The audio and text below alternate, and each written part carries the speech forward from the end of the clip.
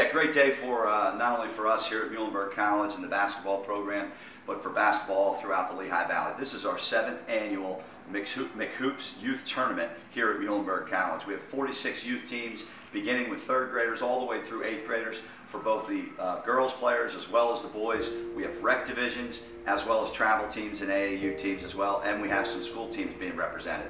It's a free tournament for those teams, so they do not pay an entry fee. They, every team gets to play two games, uh, preferably against teams that they may not see during the regular season, so they get to see some new faces.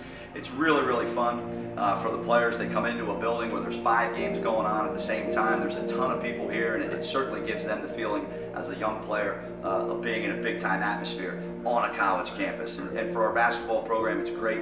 Our players are refereeing. Uh, they're running the scoreboard, keeping the book, so they get to give back to the youth as well. They can see what kind of role models that they are and how they're looked at. So it's really a win for all of us around. We get to show off our facility. We get to build relationships with the youth, uh, and it certainly promotes a lot of the things that McHoops basketball is doing for youth basketball here